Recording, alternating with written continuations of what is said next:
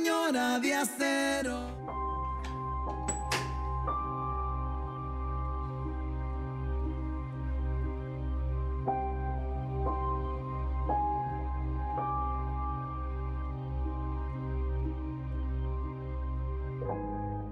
Tu padre no está muerto, tu padre está vivo.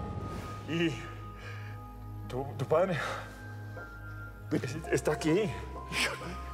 Está aquí enfrente de ti. Tu papá soy yo. Soy yo, Eric.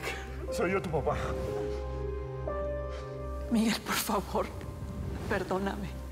O, o no me perdones. Ódiame si quieres, pero no te vayas. Es muy peligroso. Eso no me lo enseñaron nunca, mija. En este negocio, como en la vida real, no existe el perdón. Y mucho menos el olvido. Eso ya deberías haberlo sabido.